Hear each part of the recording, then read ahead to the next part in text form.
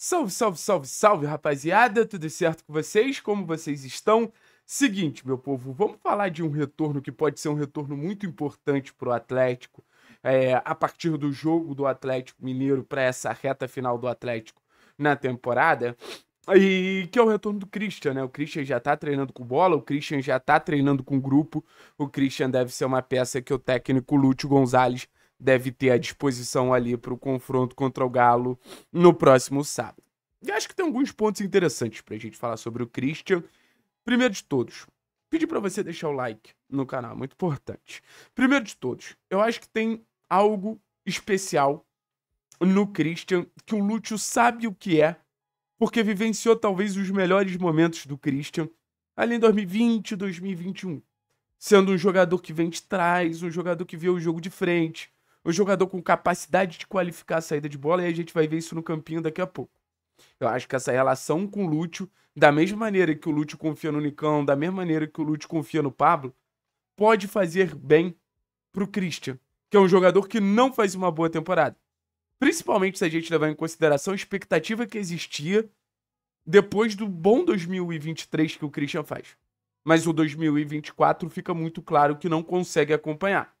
Outro ponto que eu acho importante a gente debater antes da gente ir pro campinho, que é a situação do eminente acerto com o Cruzeiro. Primeiro de tudo, você não tem uma negociação sacramentada.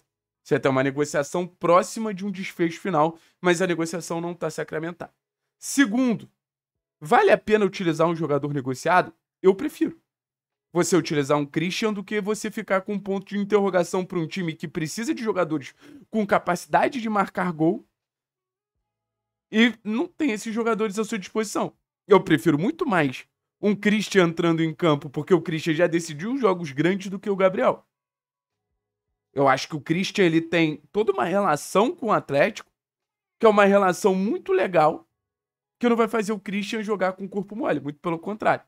Tenho certeza que nesse momento tudo que o Christian mais quer é, é ser mais um que vai salvar o Atlético. Então acho que esse ponto é muito importante. Agora, falando de campo e bola, se você for parar para prestar atenção, o Christian em nenhum momento teve um contexto favorável a ele. Primeiro de tudo, porque nunca jogou pela esquerda. E eu acho que isso influencia muito o jogo do Christian, que sempre foi um jogo de trazer para dentro para poder construir.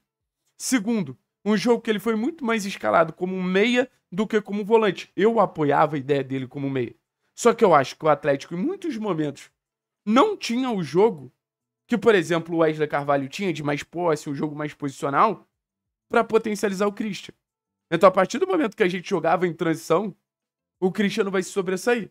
O Christian precisava receber essa bola entre linha, o Christian precisava jo saber jogar em espaço curto, e eu acho que é algo até que ele sabe. Mas um jogador que precisava ter um contexto mais favorável, que eu acho que, por exemplo, nem Christian nem Zapelli tiveram ao longo da temporada.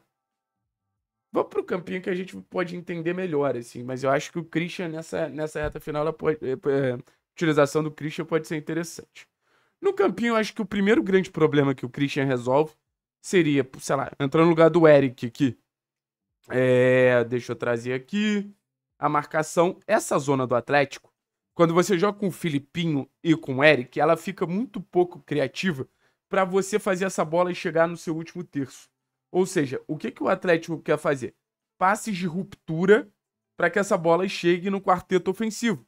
Passes de ruptura para que essa bola chegue com, mais do que chegue, né? Chegue com qualidade no quarteto ofensivo. Então, assim, Christian é o ponto de encontro da bola transicionando da defesa para o ataque até chegar ao Zapelli, até chegar ao Nicão, no Jurimar e tudo mais, que é uma função que o Fernandinho fazia. O grande aspecto é que o Fernandinho ainda não está pronto para jogar 90 minutos. Então você fica com dois caras que são muito ruins de passe. Então essa bola, quando chega aqui, a defesa adversária ela já está totalmente estruturada. A defesa adversária já está totalmente posicionada para é, impedir que o ataque do Atlético aconteça. Eu acho que o primeiro ponto é esse, tá? Eu acho que o Christian é um jogador que, pegando essa bola de trás, ele tem capacidade de quebrar linhas e, e, e acelerar a nossa rotação de bola.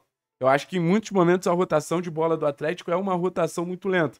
Então, com o Christian circulando essa bola desde um momento de saída de bola, vindo buscar aqui no pé dos zagueiros, pode ser interessante.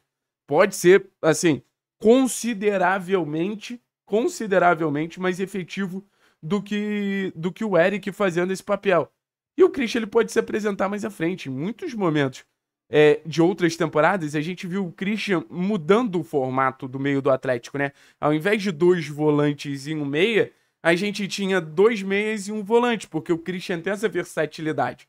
Então, o Christian se aproximando do Zapelli ou do João, enfim, para ser mais um jogador a dialogar, para ser mais um jogador a construir junto, para ser mais um jogador a ter esse momento ali de, de troca, eu, eu, eu considero bem importante, assim.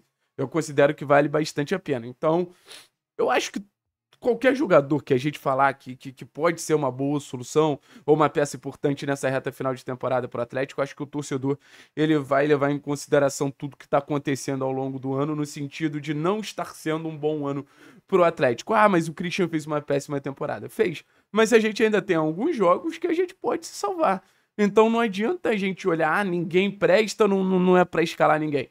Eu acho que o nosso olhar é muito mais no, no, no seguinte aspecto esse cara fez uma temporada ruim, mas em algum momento ele já demonstrou alguma qualidade. E eu acho que o torcedor do Atlético sabe bem o, o quão importante o Christian foi em diversos momentos. Inclusive na temporada passada, muita queda de desempenho do Atlético credenciavam o Christian. Então, você ter um meio, principalmente jogando em casa, que você vai ter mais responsabilidade para atacar, um meio de mais soluções, um meio mais técnico, um meio que você pode ter batida de média a longa distância, que o Christian já fez alguns gols assim, um meio que você pode ter pisada na área, eu acho que você se aproxima do seu principal calcanhar de Aquiles, que é fato que é o ataque do Atlético. Então, assim, com certeza vão ter comentários. Ah, o Christian é uma merda, o Christian é isso, o Christian é aquilo. E o ponto não é esse. O ponto não é esse. Ninguém entregou o máximo que se esperava na temporada. É que mesmo sendo uma merda, é um jogador que pode ajudar. Em um lance. Porque tem talento ali para desequilibrar em um lance. E é isso que a gente espera. Valeu, pessoal. Tamo junto. É nóis.